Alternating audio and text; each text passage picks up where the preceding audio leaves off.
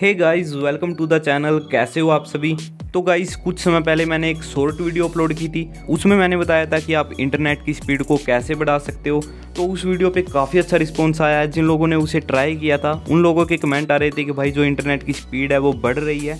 तो इसलिए मैंने सोचा कि इसके बारे में एक डिटेल में वीडियो क्यों ना बना दी जाए, जिसमें कि मैं आपको डिटेल में बता दूँ कि ये वाली जो ट्रिक है, ये कैसे वर्क करती है। और जैसा कि आपको पता है कि जो 4G इंटरनेट है, वो तो नाम का ही 4G है। यानी कि आपको एक या दो MB की स्पीड भी अच्छे से नहीं मिल पाती है। लेकिन इस वाली वीडियो में जो मैं आपको ट्रिक बताने वाला हूँ, उसे यूज़ करके आपके इंटरनेट की स्पीड डेफिनेटली बढ़ जाएगी। क्योंकि इस वाली ट्रिक को मैंने खुद भी पर्सनली ट्राई किया है। जो मेरी इंटरनेट की स्पीड है, वो डेफिनेटली बढ़ी है। यानी कि अगर आपके इंटरनेट की स्पीड एक एम के अराउंड है तो इस वाली ट्रिक को यूज़ करके जो आपके इंटरनेट की स्पीड है, वो सात से आठ एम के अराउंड हो जाएगी। और इससे पहले जो मैंने एक शॉर्ट वीडियो अपलोड की थी, उसमें भी मैंने इसके बारे में बताया था कि आप इंटरनेट की स्पीड को कैसे बढ़ा सकते हो।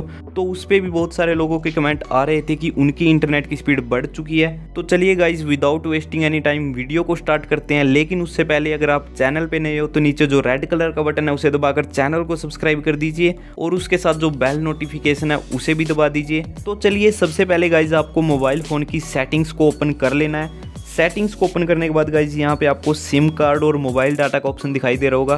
तो आपको इसके ऊपर क्लिक कर देना है। इसके ऊपर क्लिक करने के बाद गाइज़ आपके सामने दो ऑप्शन आ जाएँगे सिम कार्ड वन और सिम कार्ड टू तो गाइज़ जिस भी सिम कार्ड में आप इंटरनेट यूज़ करते हो, आपको उस सिम कार्ड को सिलेक्ट कर लेना है। जैसे कि गाइज़ मैं सेकंड वाली सिम कार्ड में इंटरनेट यूज़ करता हूँ तो मैं सेकंड वाली को सिलेक्ट कर लेता हूँ। इस पर क्लिक करने के बाद जब गाइज़ आप नीचे स्क्रॉल करोगे तो आपके सामने एक्सेस पॉइंट नेम वाला ऑप्शन आ जाएगा। तो आपको इसके ऊपर क्लिक कर देना है। इसके ऊपर क्लिक करने के बाद गाइज़ आप जिस भी सिम कार्ड में इंटरनेट यूज़ करते हो, फिर चाहे वो आइडिया वोडाफोन एयरटेल जियो कोई सी भी कंपनी की हो, उसका जो जेनवन ए है, वही वहाँ पे होना चाहिए। कुछ लोग क्या करते हैं कि वो अपना एपीएन ही लगा देते हैं। तो ये चीज़ गलत है। यानी कि जो पहले से ए पी वहाँ पर लगा हुआ है, उसे ही रहने दीजिए। अलग से कोई एपीएन लगाने की आपको नीड नहीं है। तो इतना करने के बाद गाइज़ आपको प्ले स्टोर को ओपन कर लेना है। प्ले स्टोर पे से गाइज़ आपको दो एप्लीकेशन को डाउनलोड करना है। पहले वाली एप्लीकेशन है डीएनएस स्कैनर इस वाली एप्लीकेशन का साइज़ 11 एमबी के अराउंड है तो छोटी सी एप्लीकेशन है। दूसरी एप्लीकेशन है स्पीड टेस्ट इस वाली एप्लीकेशन का साइज़ 30 एम के अराउंड है। तो डीएनएस को चेंज करने से पहले मैं आपको जो नॉर्मल इंटरनेट की स्पीड है वो दिखा देता हूँ। यानी कि जो अभी नॉर्मली स्मार्टफ़ोन में इंटरनेट की स्पीड चल रही है, वो कितनी है? तो जैसा कि आप यहाँ पे देख सकते हो कि जो डाउनलोड स्पीड है वो कम ज़्यादा हो रही है। कुछ तकरीबन चार एम के अराउंड डाउनलोड स्पीड आ रही है। और अपलोड स्पीड की बात करें तो गाइज़ अपलोड स्पीड तो और भी ज़्यादा कम हो गई है। यानी कि दो एम के अराउंड अपलोड स्पीड आ रही है।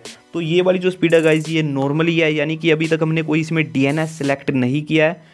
तो चलिए गाइज़ हमने जो पहले नंबर पे एप्लीकेशन डाउनलोड की थी डीएनएस चेंजर उसे ओपन कर लेते हैं।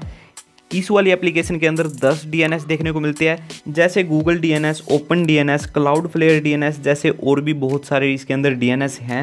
तो जिस भी डीएनएस पे आपको अच्छी स्पीड मिलती है तो आप उसे सिलेक्ट कर सकते हो। तो चलिए गाइस अभी मैं आपको किसी डीएनएस के साथ कनेक्ट करके दिखा देता हूँ कि जो इंटरनेट की स्पीड है वो बढ़ती है या फिर नहीं। तो सबसे पहले हम ओपन डीएनएस के साथ कनेक्ट करके देखते हैं कि जो इंटरनेट की स्पीड बढ़ती है या फिर नहीं।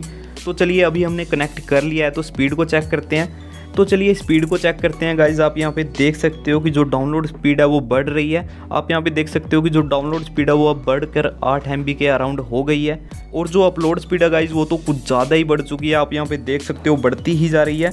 यहाँ पे अपलोड स्पीड अट्ठाईस एम के अराउंड हो गई है। और अगर आप इसे नॉर्मल स्पीड से कंपेयर करें, जब हमने किसी भी डीएनएस के साथ कनेक्ट नहीं किया था तो जो नॉर्मल स्पीड थी, वो चार एम की डाउनलोड स्पीड थी और दो एम की अपलोड स्पीड थी। लेकिन डीएनएस के साथ कनेक्ट करने के बाद आप देख सकते हो कि जो डाउनलोड स्पीड है वो बढ़कर आठ एम की हो चुकी है और जो अपलोड स्पीड है वो तो कुछ ज़्यादा ही बढ़ चुकी है, अट्ठाईस एम की अपलोड स्पीड हो चुकी है।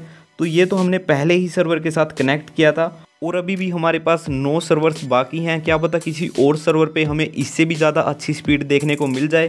तो चलिए इस किसी और सर्वर पे कनेक्ट करके देखते हैं।